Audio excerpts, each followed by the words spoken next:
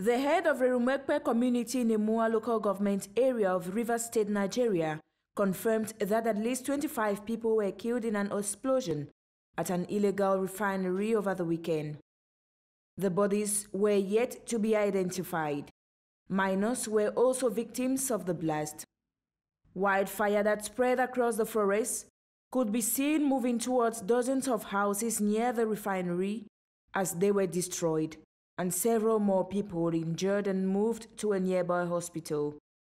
Nigeria's oil-rich Delta region, known for its illegal refining, as impoverished residents exploit pipelines to make fuel and sell at a profit. The practice, which can be as basic as boiling crude oil in drums to extract fuel, is very dangerous.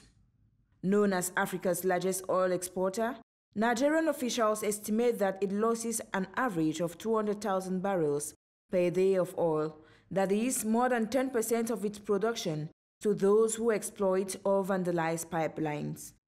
Theft and vandalism contribute to a huge amount of pollution in the region.